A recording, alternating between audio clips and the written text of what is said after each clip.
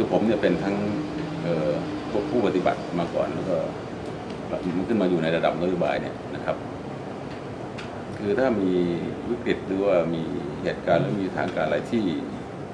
ที่เรียกว่าเป็นภัยหรือต่างๆเนี่ยของหน่วยทหารนี่มันจะเข้าไปเป็นหน่วยแรกด้วยความสำนึกในความรับผิดชอบก็ดีหรืออะไรต่างๆเนี่ยนะที่ผ่านมาเนี่ย จะเห็นว่าเราต้องเข้าไปก่อนช่วยเหลือก่อน ถ้าเกิดเป็นประชาชนของของเราเนี่ย ซึ่งเราปลูกฝังมาอย่างนั้นนะครับบางทีทำโดยที่ไม่ได้มีการประชาสัมพันธ์แต่เข้าไปก่อนแล้วบางทีทำโดยที่ไม่รู้ว่าจะได้รับงบมาหรือเปล่าบางทีไม่ได้ด้วยไม่ได้ก็ต้องใช้อันอื่นมาชดเชยกันไปอะไรนี่เป็นต้น ส่วนใหญ่ก็ทำไปในในกรอบที่รัฐบาลสั่งการมาเราก็ทำตามหน้าที่ตามบทบาทที่เราได้รับมอบนะครับเพราะทุกสิ่งทุกอย่างงบมา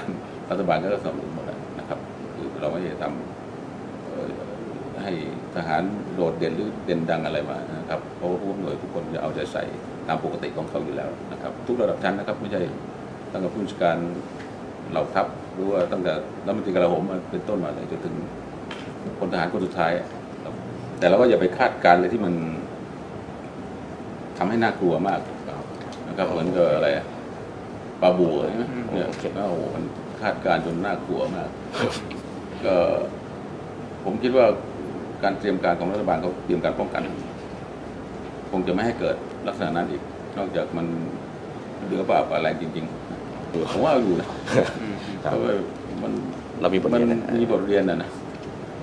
ตั้งแต่เริ่มการระบายน้ำเนี่ยมันก็ต้องนะอีหน้าผมว่าเขาต้องพร่องน้ำโอ้โหเตรียมรับน้ำเต็มที่อะนะแล้วถ้าเกิดรัฐบาลอยู่อย่างเงี้ยต่อเนื่องแล้วคิดแล้วก็ทำเองแล้วก็อย่างยาว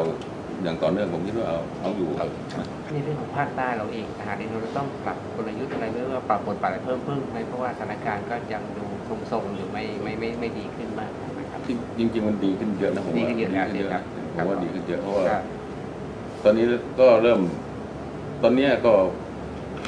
กรมนก็เริ่มปรับครับผม โครงสร้างปรับแนวคิดปรับอะไรที่จะทำมีเอกภาพมากขึ้นนะคครัรับบที่ที่คุยกับท่านผู้จัดการบอกซึ่งท่านรับผิดชอบโดยตรงในฐานะครับ รอง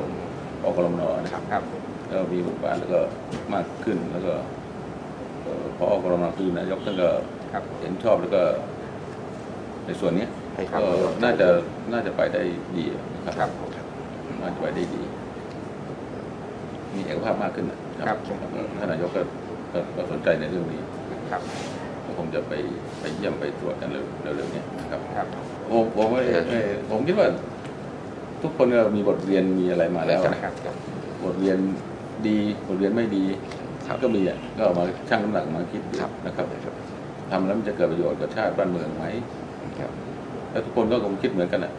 เราทำเพื่อประโยชน์กับชาติโดยส่วนรวมอะนะครับอันไหนไม่ดีชั่งน้ำหนักไม่ดีแล้วก็ทำแล้วไม่ได้ประโยชน์เขาคงไม่ทำอะครับนะครับครับท่านผู้จัดการนั้นบอกท่านก็ยืนยันให้พวกเราทราบบ่อยๆอยู่แล้วครับคือรัฐมนตรีท่านก็ยืนยันให้ทราบอยู่แล้ว